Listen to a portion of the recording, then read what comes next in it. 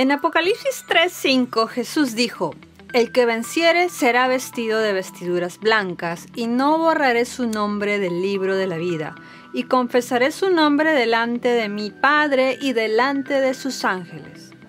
¿Es este versículo una advertencia para los cristianos de que pueden perder su salvación si no vencen? No, no lo es, y en realidad es una afirmación positiva de la seguridad eterna. Hmm, ¿Cómo es esto? Te estarás preguntando. Únete a nosotros en este episodio para descubrirlo. No te vayas.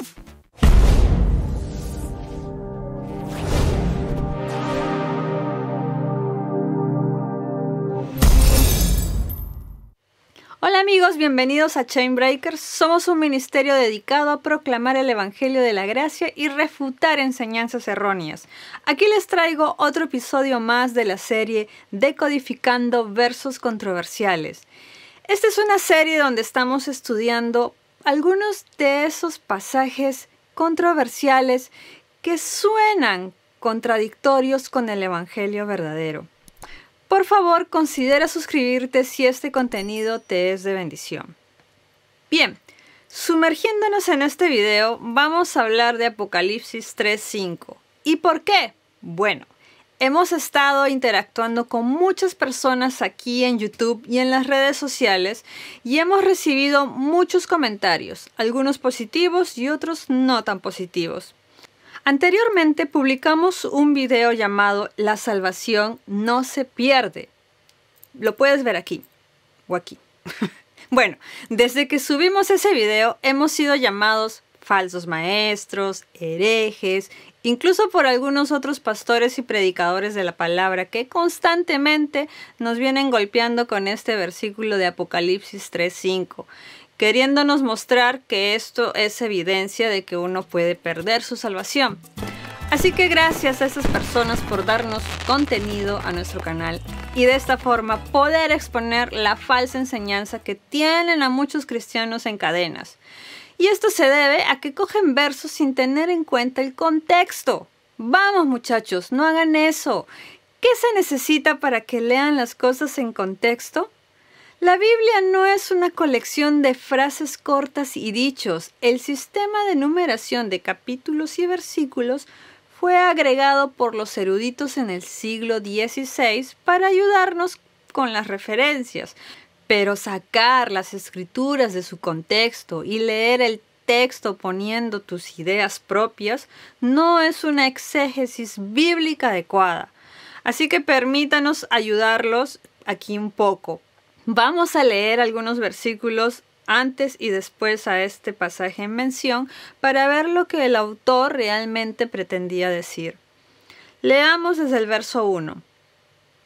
Escribe el ángel de la iglesia en Sardis, el que tiene los siete espíritus de Dios y las siete estrellas dice esto. Yo conozco tus obras, que tienes nombre de que vives y estás muerto. Sé vigilante y afirma las otras cosas que están para morir, porque no he hallado tus obras perfectas delante de Dios. Acuérdate pues de lo que has recibido y oído, y guárdalo y arrepiéntete, pues si no velas, vendré sobre ti como ladrón y no sabrás a qué hora vendré sobre ti. Pero tienes unas pocas personas en Sardis que no han manchado sus vestiduras y andarán conmigo en vestiduras blancas, porque son dignas. El que venciere será vestido de vestiduras blancas, y no borraré su nombre del libro de la vida, y confesaré su nombre delante de mi Padre y delante de sus ángeles. El que tiene oídos, que oiga lo que el Espíritu dice a las iglesias. En el comienzo del libro de Apocalipsis, Jesús habla a las siete iglesias. Cada una recibe un mensaje del Señor. Ahora bien, este es Jesús revelándole estas cosas al apóstol Juan en el Espíritu mientras estaba exiliado en la isla de Patmos. Entonces, estas no fueron cartas físicas que Jesús envió a las iglesias. Jesús aquí estaba revelando cuál era la verdadera condición de estas iglesias, lo que era bueno y lo que no. Jesús quiere que aprendamos de estos ejemplos para que nuestras iglesias no cometan los mismos errores. En este pasaje de las Escrituras, leemos la epístola de Jesús a la iglesia en Sardis.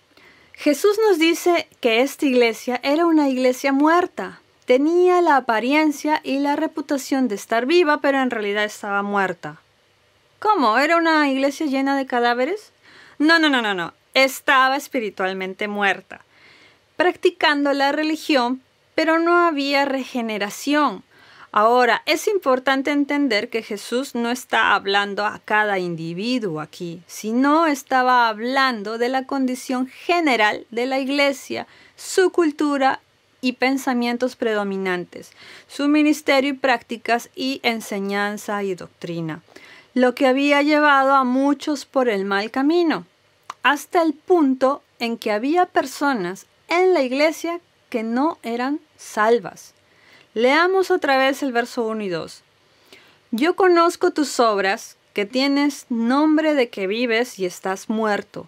Sé vigilante y afirma las otras cosas que están para morir, porque no he hallado tus obras perfectas delante de Dios. Bueno, era una iglesia que estaba practicando un evangelio pervertido de obras y no de gracia. Sabemos que el Evangelio dice que somos salvos por gracia y no por obras, ¿verdad? Mm. Pero aquí Jesús suena como si estuviera diciendo que sus obras no eran lo suficientemente buenas y que necesitaban trabajar más duro. Pues no, Jesús nunca dijo que necesitaban hacer más obras o mejores obras. Él está señalando la insuficiencia de sus obras porque no podemos llegar a la salvación por nuestras obras. Nuestras obras nunca son lo suficientemente buenas. Por eso Jesús fue a la cruz. Somos salvos por sus obras, no por las nuestras. Solo sus obras fueron perfectas y suficientes para calificarnos. Leamos el verso 3. Acuérdate pues de lo que has recibido y oído, y guárdalo y arrepiéntete, pues si no velas, vendré sobre ti como ladrón y no sabrás a qué hora vendré sobre ti. Aquí Jesús les recuerda el Evangelio, el mensaje original de la gracia a través de la fe, que habían recibido pero que habían ignorado. Tú sabes que a menudo se dice, y realmente yo lo creo, que si el Espíritu Santo dejara el mundo hoy, una gran mayoría de iglesias continuaría operando como si nada hubiera pasado. ¡Wow! ¿En cuántas iglesias puedes pensar que podría pasar esto? Tal vez incluso en la iglesia a la que vas ahora mismo, que simplemente practica la religión sin operar el poder y el liderazgo del Espíritu Santo. ¿Cuántas iglesias están predicando un evangelio pervertido que pone toda la carga sobre ti para que actúes y trates de ganarte el favor de Dios con tus obras. ¿Cuántos pastores y líderes abusan de la gente y se aprovechan del rebaño a través de la manipulación, la culpa y el legalismo para explotarlos en beneficio propio? Cuántas iglesias con tristeza están enseñando de que la salvación no es solo a través de la fe en Cristo y están llevando a la iglesia a creer herejías condenables pensando que sus obras son suficientes. Esta era la iglesia de Sardis, que en sus comienzos fue plantada y establecida probablemente por el apóstol Juan, pero con el tiempo se había desviado no quiere decir que los cristianos que fueron salvos allí perdieron su salvación, sino que fue tomada por herejes y se llenó de personas religiosas que no fueron regeneradas. Era una iglesia falsa, llena de cristianos y pastores falsos que enseñaban un evangelio falso. Sin embargo, el Señor nos dice que aunque esta iglesia se había vuelto una iglesia muerta y contaminada, todavía había un remanente de verdaderos creyentes que habían creído en el Señor y habían venido a Dios a través del Evangelio correcto. Leamos el verso 4. Pero tienes unas pocas personas en Sardis que no han manchado sus vestiduras y andarán conmigo en vestiduras blancas porque son dignas. El que venciere será vestido de vestiduras blancas, y no borraré su nombre del libro de la vida, y confesaré su nombre delante de mi Padre y delante de sus ángeles. Este versículo a menudo es pervertido para enseñar que un cristiano puede perder su salvación y en realidad significa exactamente lo contrario. Como creyente en una vez salvo, siempre salvo, amo este versículo porque en realidad afirma esta verdad, que el que venciere no sea borrado del libro de la vida. ¿Qué significa el que venciere? Bueno, el escritor de Apocalipsis, el apóstol Juan, nos dice en su primera epístola, leamos primera de Juan 5:5. ¿Quién es el que vence el mundo sino el que cree que Jesús es el Hijo de Dios? También en Romanos 8:37, antes, en todas las cosas somos más que vencedores por medio de aquel que nos amó. En Apocalipsis 12:11 Juan escribe otra vez, y ellos lo han vencido por medio de la sangre del cordero y de la palabra del testimonio de ellos, y menospreciaron sus vidas hasta la muerte. ¿Vencieron a quién? al acusador de los hermanos, a Satanás, quien fue el acusador desde el principio. Él siempre nos acusaba ante Dios, pero la salvación y el reino han llegado a través de Cristo. Aleluya. Leamos desde el verso 10 al 12. Entonces oí una gran voz en el cielo que decía, Ahora ha venido la salvación, el poder y el reino de nuestro Dios y la autoridad de su Cristo, porque ha sido lanzada fuera el acusador de nuestros hermanos, el que los acusaba delante de nuestro Dios día y noche, y ellos le han vencido por medio de la sangre del cordero y de la palabra del testimonio de ellos, y menospreciaron sus vidas hasta la muerte. Por lo cual, alegraos cielos y los que moráis en ellos ay de los moradores de la tierra y del mar, porque el diablo ha descendido a vosotros con gran ira, sabiendo que tiene poco tiempo. Por esta razón, si alguien trata de acusarte y ponerte bajo temor y condenación, recuerda que esto no es de Dios, sino de Satanás, y no tiene lugar en la iglesia.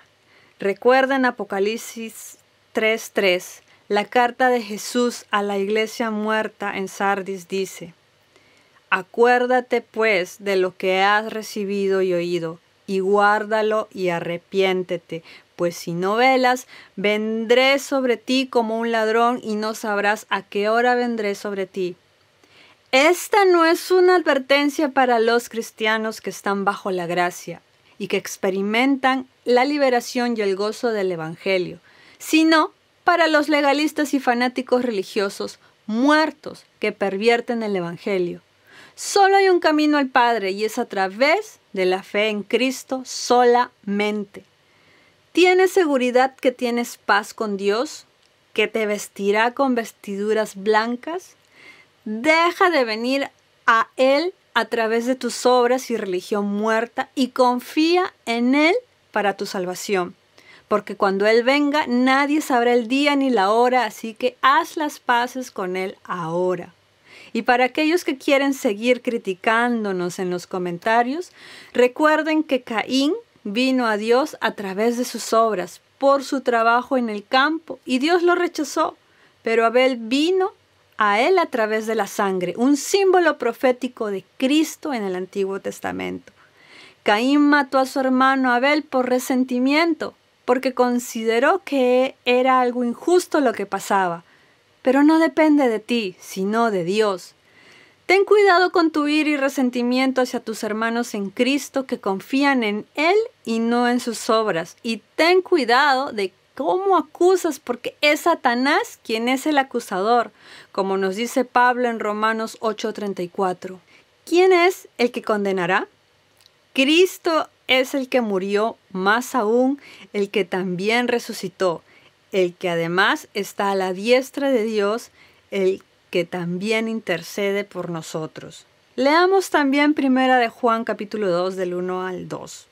Hijitos míos, estas cosas os escribo para que no pequéis, y si alguno hubiese pecado, abogado tenemos para con el Padre, a Jesucristo el justo, y Él es la propiciación por nuestros pecados, y no solamente por los nuestros, sino también por los de todo el mundo. Por último, a todos ustedes que predican gracia y que sienten que a nadie le importa la verdad y que son perseguidos constantemente por los legalistas que usan Apocalipsis 3.5 y muchos versos más. En realidad, ellos son los que están en problemas porque no tienen seguridad en su salvación. Pero tú que confías en Cristo, tienes seguridad en Él y Él te ha vindicado ante el Padre. Esperamos que este video haya sido una bendición para ti. Recuerda suscribirte si es que aún no lo has hecho y también puedes revisar nuestro canal en inglés. Síguenos también en las redes sociales, tanto en Facebook como en Instagram. Todos los enlaces están en la descripción. Te veo en el siguiente video con más versos controversiales acerca de la salvación. Dios te bendiga. Chao.